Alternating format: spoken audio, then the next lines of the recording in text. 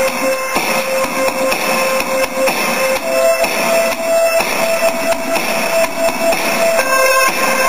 fuck me? I would fuck me. I would fuck me hard.